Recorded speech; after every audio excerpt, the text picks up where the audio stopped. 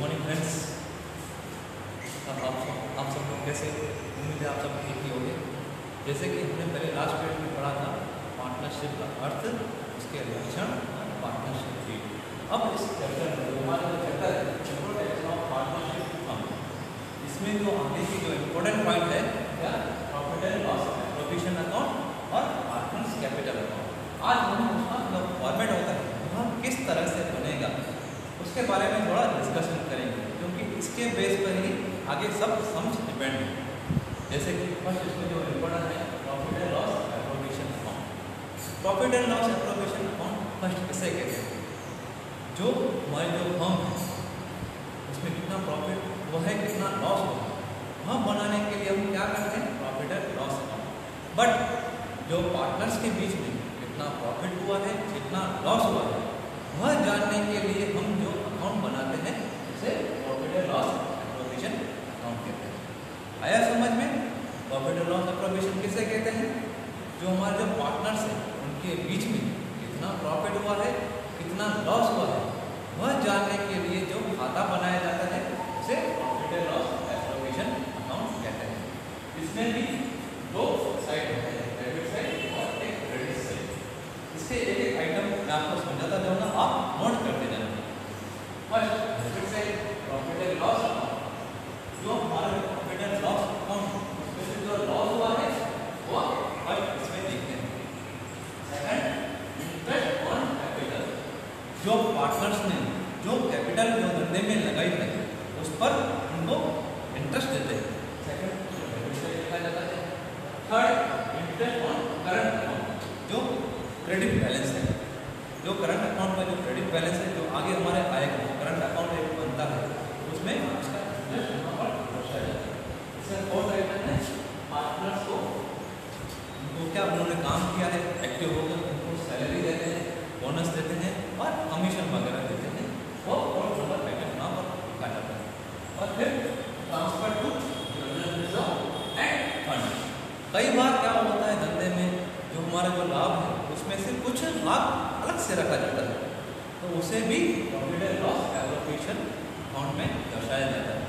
और इसके बाद जो हमारा जो करते हैं जो इनकम में से लेस करते हैं जो हमको जो प्रॉफिट हुआ वो यहाँ पर दर्शाया जाता है ठीक ये पूरा का पूरा डेबिट है। यहाँ पर जो आइटम लिखे जाते हैं, सब आपको याद करने पड़ेंगे। इसके बाद है क्रेडिट साइड क्रेडिट साइड क्या होता है? Profit and loss profit and loss account का क्या? क्रेडिट जो धंधे के अंदर जो प्रॉफिट हुआ है। जो प्रॉफिट हुआ है फ़र्स्ट उसको यहाँ पर दर्शाया जाता है। सेकंड इंटरेस्ट ऑन प्राइस जो पार्टनर्स हैं, उन्होंने धंधे में से आहरण किया है। आहरण किया, पर उनको ब्याज तो चुकाना पड़ेगा।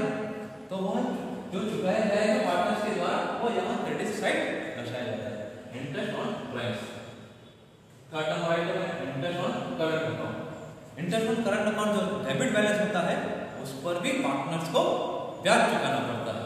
वो यहाँ पर दर्शाया जाता है। इसके बाद इंटरेस्ट धंधे में किसी भी प्रकार की ब्याज मिला उसकी भी यहाँ पर उल्लेख किया जाता है। इसके बाद पार्टनर्स पार्टनर्स कैपिटल अकाउंट कई बार क्या होता है जो धंधे में लॉस हो जाता है। एक तरह का लॉस हुआ जो बिज़नेस में। वो भी पार्टनर्स के बीच में इस उनके जो अनुपात में यहाँ पर डिवाइड किया जाता है। ठीक है आया सबको समझ में? Profit and loss account appropriation का ये फॉर्मेट है। आपको अच्छी तरह से याद करेंगे। और हम बट सम करेंगे और आपको उसका ज़्यादा कंसेप्ट क्लियर होता जाएगा। इसके बाद है, जो इसके अंदर इंपॉर्टेंट पॉइंट है पार्टनर्स कैपिटल अकाउंट जो हमारा जो चैप्टर है, इसमें भी पार्टनर्स कैपिटल अकाउंट दो तरह से बनता है।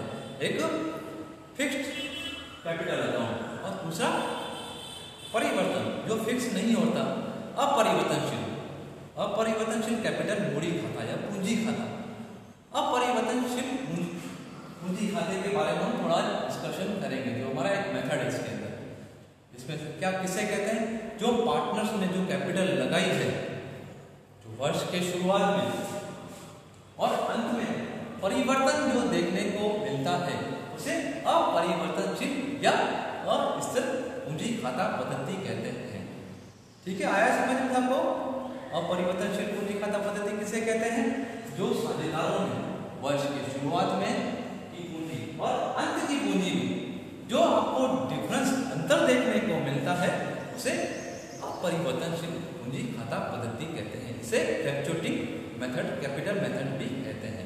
जो इसका जो फॉर्मेट है, दो साइड होते हैं इसमें भी पार्टनर्स अंदर एक डेबिट साइड और एक क्रेडिट साइड जैसे सिंपल है, इसका डेबिट साइड क्या होता है? टू बैलेंस बीडी जो ओपनिंग बैलेंस कैपिटल का कहा जाता है सेकंड टू ड्राइंग्स जो हमारे जो पार्टनर्स है उन्होंने धंधे में से आहरण किया है तो क्या उसको भी यहाँ पर जाता है।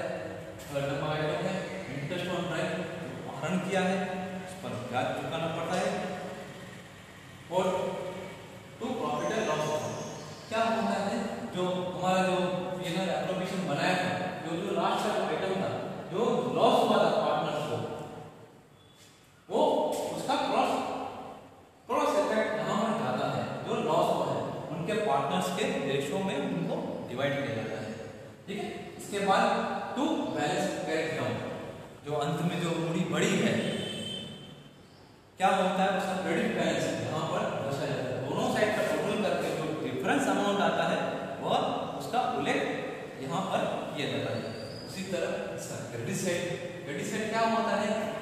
ओपनिंग बैलेंस कैपिटल का बैलेंस आपको पता है क्या होता है क्रेडिट तो first by balance opening balance of capital ठीक है?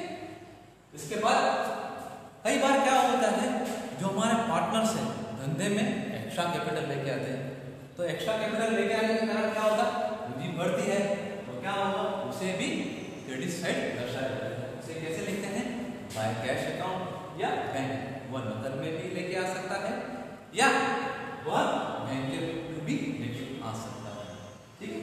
इसके बाद आता है बाय इंटरेस्ट ऑन कैपिटल जो पार्टनर्स हैं, उन्होंने क्या किया है, धंधे में कैपिटल लगाई है। क्या? ब्याज वगैरह चुकाना पड़ता है कैपिटल पर? जो पेडी जो फर्म है, उसको ब्याज चुकाती है। किस साइड दर्शाया जाता है पार्टनर कैपिटल के क्रेडिट साइड इसके बाद जो पार्टनर्स हैं, उन्होंने क्या एक्स्ट्रा काम अच्छा किया है? Extra salary remuneration bonus commission वगैरह दी जाती है। वो भी पार्टनर्स के कैपिटल अकाउंट में क्रेडिट साइड दर्शाया जाता है। ठीक है? इसके बाद प्रॉफिट एंड लॉस अकाउंट जो प्रॉफिट हुआ है पीएनएल अकाउंट में जो प्रोविज़न जो अकाउंट हमने बनाया था तो उसमें प्रॉफिट हुआ। उसको भी जो डेबिट साइड जो हमारा प्रॉफिट है तो क्या किया जाता है, उसको पार्टनर्स कैपिटल अकाउंट के क्रेडिट साइड दर्शाया जाता है। ठीक है? अंत में मूड़ी कम हो गई हमारी पूंजी जो लगाई थी वो कम हो गई। हाँ? तो क्या डेबिट साइड का टोटल ज़्यादा हो क्रेडिट साइड का टोटल कम हो तो क्या डिफरेंस जो अमाउंट है उसे बाय बैलेंस करेक्ट डाउन कहते हैं, वो क्या होता है कि धंधे में जो मूड़ी लगाई थी वो कम हो गई। तो वो दर्शाने किससे ज़्यादा है क्रेडिट से ठीक है? आप लोग अच्छी तरह से इस फॉर्मेट को याद करके दो तीन बार बिना देख के लिखना और उसको प्रैक्टिस करना। ठीक है? और इसके बाद जो हम आज इसका एक सम डिस्कस कर लेते हैं, जो हमारे बुक का ही है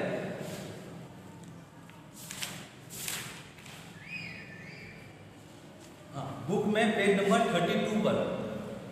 क्वेश्चन नंबर एट इसमें क्या है? हरपाल और चिराग। एक ही पेड़ी के साझेदार हैं। उन्होंने क्या किया? एक चार दो हज़ार सोलह के दिन उनकी पूंजी क्रमशः साठ हज़ार और एक लाख। ठीक है? कितनी कैपिटल लेके? साठ हज़ार और एक लाख।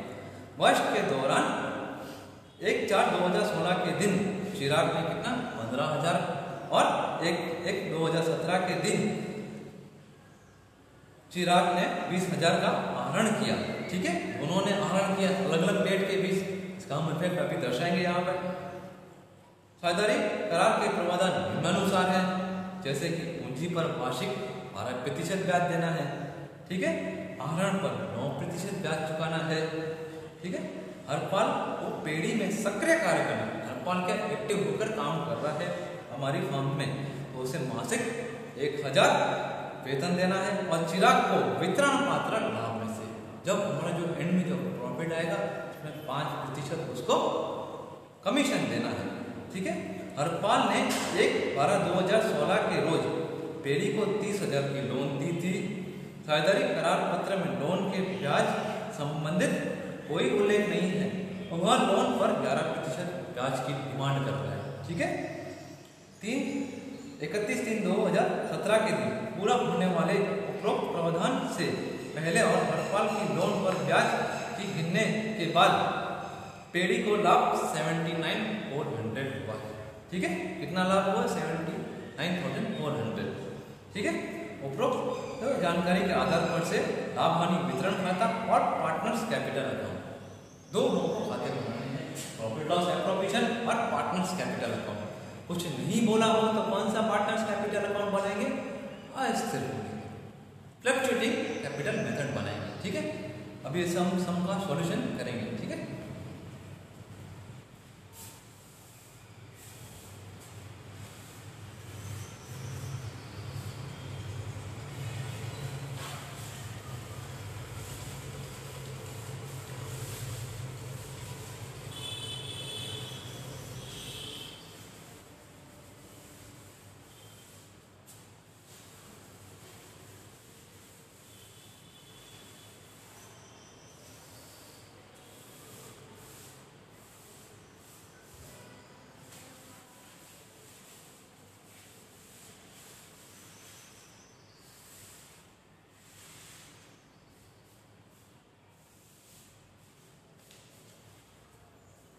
और शंभू, क्या इन्फॉर्मेशन दी है?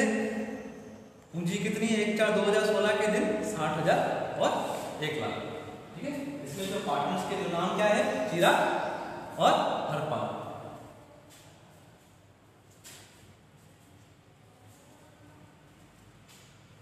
हरपाल का एच और चिराग का सी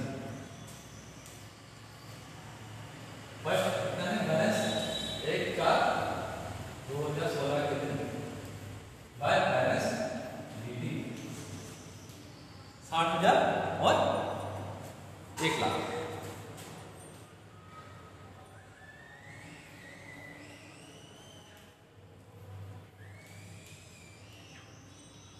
एक लाख ठीक है इसके बाद क्या दिया सबने हमको? वर्ष के दौरान एक चार दो हज़ार सोलह के दिन हरपाल ने पंद्रह हज़ार का ड्राइंग्स किया है। ड्राइंग्स किया तो क्या? कैपिटल कम होगी कैपिटल अकाउंट के डेबिट से।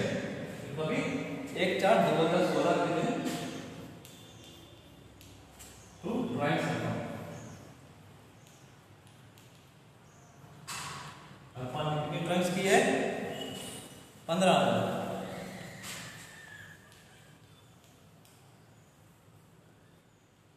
और एक एक दो हज़ार सत्रह के दिन चिराग की कितनी ड्राइंग्स की है बीस हज़ार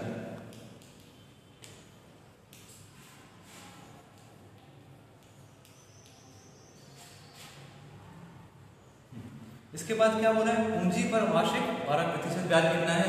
कितना जो मान जो कैपिटल है उस पर कितना ब्याज कितना है बारह प्रतिशत ये कभी आएगा इकतीस तीन दो हज़ार सत्रह के दिन वर्ष के अंत में इंटरेस्ट ऑन कैपिटल गिना जाता है इंटरेस्ट ऑन कैपिटल साठ हज़ार का बारह प्रतिशत कितना होता है साठ हज़ार का बारह प्रतिशत सात हज़ार दो सौ। और एक लाख का बारह प्रतिशत बारह हज़ार इसका क्रॉस इफ़ेक्ट किसे एप्लीकेशन के किससे डेबिट से क्या है इंटरेस्ट ऑन कैपिटल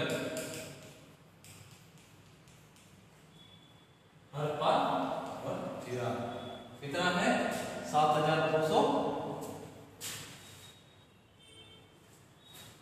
सात हज़ार दो सौ और बारह हज़ार टोटल कितना आएगा उन्नीस हज़ार दो सौ इसके बाद क्या? आहरण पर नौ प्रतिशत ब्याज वसूल करना है। जो हमारा ड्राइव्स है तो कितना? नौ प्रतिशत ब्याज वसूल करना है। ये भी वर्ष के अंत में इकतीस तीन दो हज़ार सत्रह इंटरेस्ट ऑन ड्राइव्स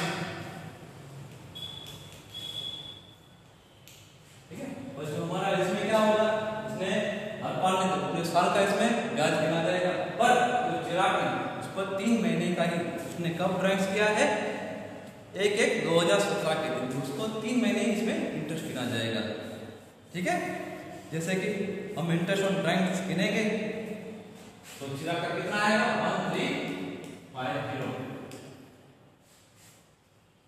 कितना प्रतिशत? नौ प्रतिशत। और चिराग पर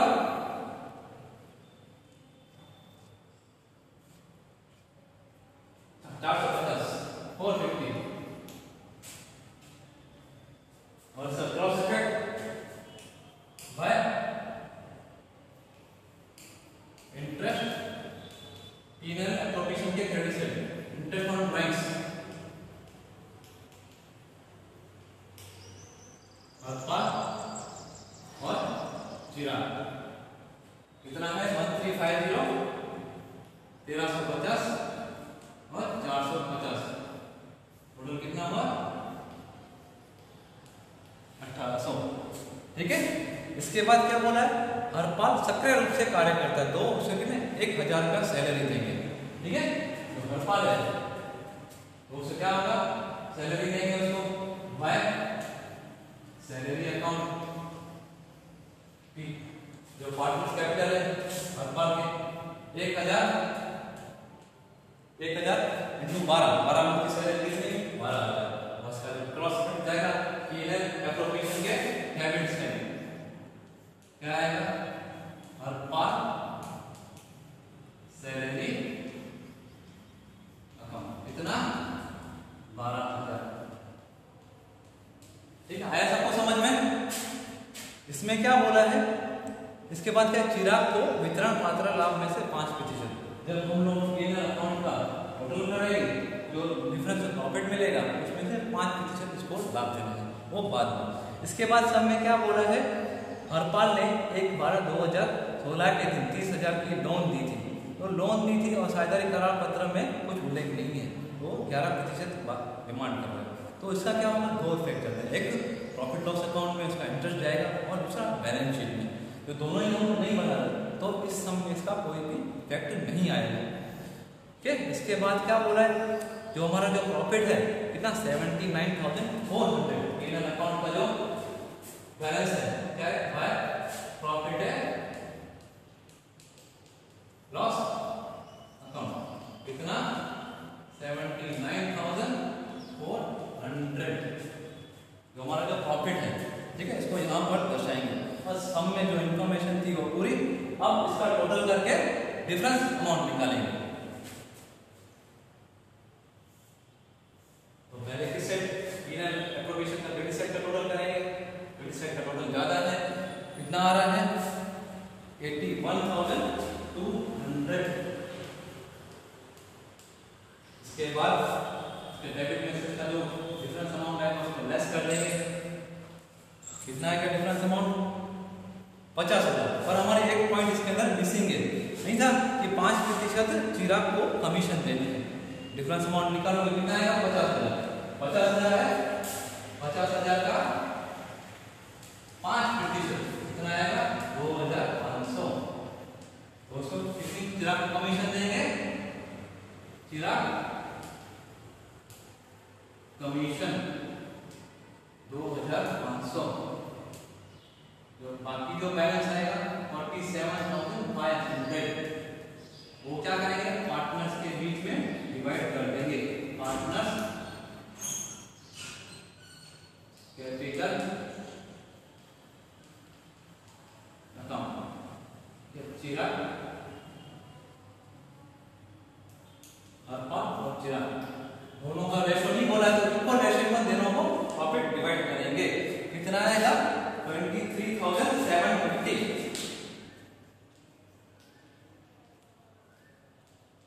twenty three thousand seven fifty कितना हमारा इन दोनों के बीच में प्रॉफिट आएगा जिसका फ़र्स्ट हम तो इसे एक इफ़ेक्ट रह गया जिसका क्या था चिराग एक कमीशन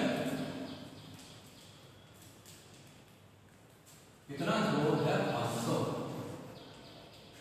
और प्रॉफिट हुआ कितना प्रॉफिट हुआ है profit loss appropriation twenty three thousand seven fifty तेईस हज़ार सात सौ पचास इससे टोटल करेंगे टोटल किस साइड का डाला है क्रेडिट साइड ठीक है तो पहले क्रेडिट साइड का टोटल कर देंगे कितना आएगा हर पाल का हर पाल का टोटल करेंगे तो कितना आएगा एक लाख दो हज़ार नौ सौ पचास नौ सौ पचास एक लाख दो हज़ार नौ सौ पचास टू बैलेंस क्लोजिंग बैलेंस हमको यहाँ से मिल जाएगा। कितना? डिफरेंस हम इसमें लेस करते हैं डेबिट वाला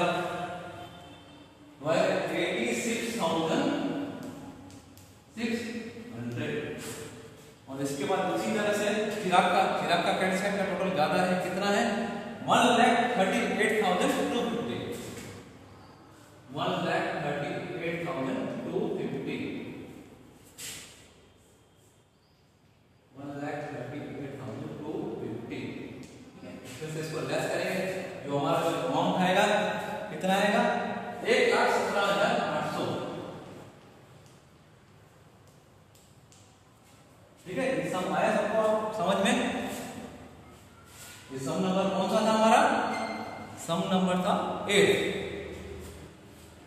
page number 32 सम नंबर 8 ठीक है?